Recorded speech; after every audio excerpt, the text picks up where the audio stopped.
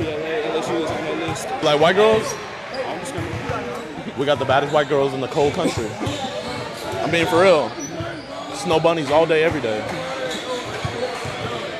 You can handle all that? They're big bodies too. You might have to take one for the team. I got you. Look at you. Good game. Keep it up.